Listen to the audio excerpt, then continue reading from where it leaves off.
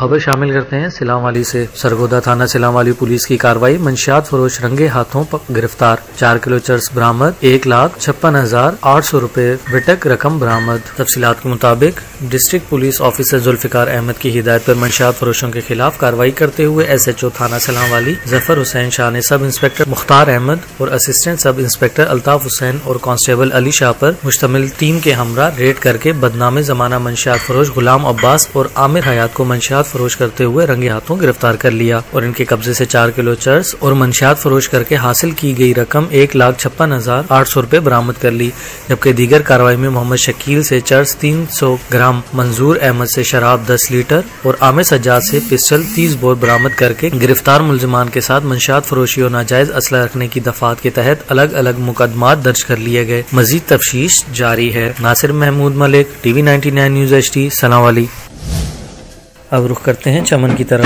معاشرے کا اسلامی تخصص برقرار رکھنا ہی دینی مدارس کا ایجنڈا ہے۔ مولانا مفتی محمد قاسم، مستقبل قریب میں ان نو نحال طلبہ سے امید وابستہ ہے اور یہ اسلام کے مراکز کے نگران ہوں گے۔ شیخ الحدیث مولانا عبدالسلام، بلوچستان کے مشہور علمی دینی درسگاہ گلشن شہید اسلام، جامع دارالعلوم اسلامیہ ملت آباد میں حفاظ کرام کی تکمیل حافظ قرآن کریم اور شش ماہی امتحان کے کشف النتائج کی روحانی تقریب شہید اسلام مولانا محمد حنیف کے جانشین اور جمعیت علماء اسلام کے مرکزی رہنما مولانا مفتی محمد قاسم شی خطاب کرتے ہوئے کہا کہ معاشرے کا اسلامی تخصص برقرار رکھنا ہی دینی مدارس کا ایجنڈا ہے۔ Abdul Khaliq T V ninety nine news H T Chaman.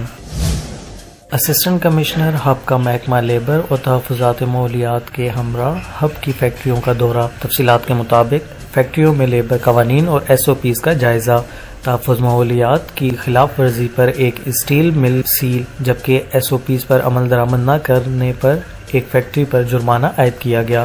Assistant commissioner Hub lieutenant retire Muhammad Ahmed Zaheer نے جوائنٹ ڈائریکٹر لیبر و ویلفیئر آغا غلام رسول نوشروانی اور ڈپٹی ڈائریکٹر تحفظ ماحولیات عمران سعید و دیگر عملے کے ہمراہ ہب کی فیکٹریوں کا دورہ کیا، جہاں انہوں نے تحفظ ماحولیات کی خلاف ورزی کرنے پر ایک اسٹیل مل کو سیل کر دیا، جبکہ ایک فیکٹری کو ایس او پیز پر عمل درآمد نہ کرنے پر جرمانہ بھی عائد کیا۔ اس موقع پر اسسٹنٹ کمشنر ہب نے لیبر سے ملاقات کی اور ان کے مسائل معلوم کیے۔ اس دوران انہوں نے کہا کہ لیبر قوانین کے خلاف ورزی کسی صورت برداشت نہیں کی جائے گی اور نہ ہی تحفظات ماحولیات پر سمجھوتا کیا جا سکتا ہے۔ Muhammad Anwar Lehri T V ninety nine news H T Hub. ڈکیت gang کا سرگنا ساتھی سمیت گرفتار، اسلحہ چھینی گئی موٹر سائیکلیں برآمد۔ تفصیلات کے مطابق D P O Sahiwal Muhammad Ashraf Aslam کے حکم پر جرائم پیشہ عناصر کے خلاف کریک ڈاؤن کرتے ہوئے ایس ایچ او تھانہ Ghaziabad, Sahiwal sub inspector Ejaz Aslam اور ان کی ٹیم نے ملزمان نوید اور اعجاز کو گرفتار کر لیا۔ دوران تفتیش ملزمان کے قبضے سے ان کی نشاندہی پر دو عدد پسٹل، تیز بور ماں گولیاں اور واردات کے دوران چھینی گئی دو موٹر سائیکلیں اور موبائل و نقدی رقم برامد کر لیے گئے۔ ڈی پی او ساہیوال نے ایس ایچ او کو تعریفی صنعت سے نوازا اور جرائم پر مکمل قابو پانے کا ٹاسک بھی دیا۔ Vikas Chaudhry, T V ninety nine news H D, Sahiwal.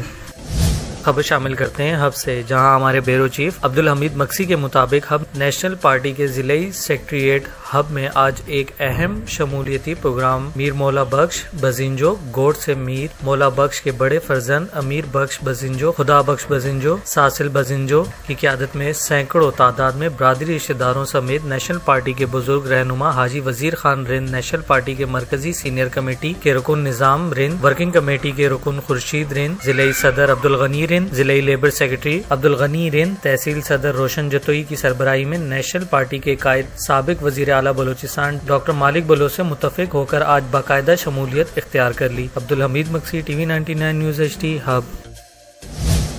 D H Q teaching اسپتال کے ڈاکٹرز نے ہڑتال کی کال واپس لے لی۔ عوام کے وسیع تر مفاد اور انہیں علاج کی سہولت جاری رکھنے کے لیے ہڑتال کی کال واپس لی۔ Secretary information P M A doctor Nisar Ahmed, تفصیلات کے مطابق ساہیوال میڈیکل کالج کے associate professor doctor Sajid Mustafa کے اغوا کے افسوسناک واقعے پر ٹیچنگ اسپتال کے ڈاکٹروں نے ہڑتال کی کال دی تھی، لیکن اسے واپس لے لیا ہے۔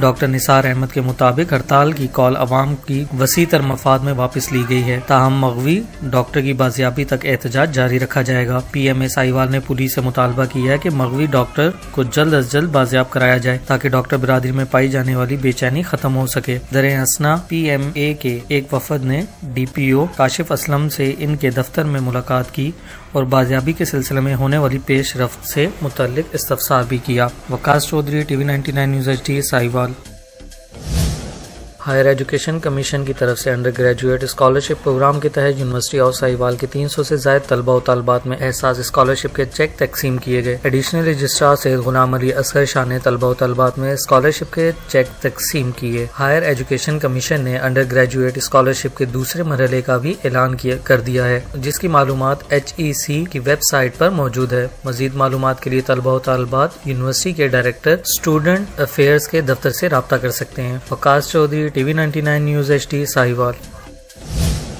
خبر شامل کرتے ہیں ہنگو سے۔ ہنگو سٹی پولیس اور پبلک لیزان کونسل نے جرائم پیشہ عناصر اور منشیات فروشوں سے نمٹنے کے لیے حکمت عملی طے کر لی۔ اس حوالے سے D S P city Ismail Marwat اور ایس ایچ او سٹی ولایت شاہ خان کی قیادت میں ہنگو سٹی کے مشران لیزان کمیٹی کے ممبران اور علاقہ امائدین کا مشترکہ اجلاس D S P office Hangu میں منعقد ہوا، جس میں پولیس اور عوام کے مابین اعتماد کی بحالی دو طرفہ تعاون بڑھانے اور جرائم کی روک تھام کے لیے مل جل کر کام کرنے کا فیصلہ بھی کیا گیا۔ تفصیلات کے مطابق district police officer Hangu Ikramullah Khan کی خصوصی ہدایت پر ہنگو سٹی پولیس اور پبلک لیزان کونسل نے جرائم پیشہ عناصر اور منشیات فروشوں سے نمٹنے کے لیے حکمت عملی طے کر لی۔ علاقہ امائندین نے D S P city Ismail Marwat کو یقین دہانی کرائی کہ منشیات فروشی خصوصائز ہوائی فائرنگ اور دیگر معاشرتی جرائم میں ملوث عناصر کے خاتمے کے لیے ضلع پولیس کے ساتھ مکمل تعاون کریں گے اور اپنے علاقے میں کسی کو بھی اس مکروع دھندے کی اجازت ہرگز نہیں دی جائے گی اور ایسے عناصر کی نشاندہی کر کے ان کا جڑ سے خاتمہ کیا جائے گا۔